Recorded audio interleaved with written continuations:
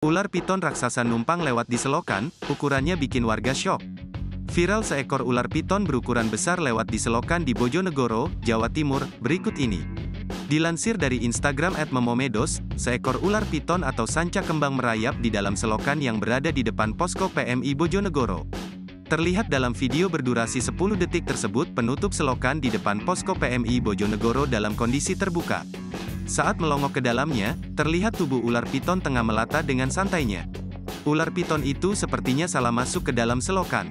Namun ular piton raksasa itu terlihat tak terlalu ambil pusing dengan kondisi selokan yang sebenarnya kurang lebar bagi ukuran badannya yang sangat besar. Dengan santai ular piton raksasa tetap meneruskan perjalanannya dengan masuk selokan tersebut lebih ke dalam.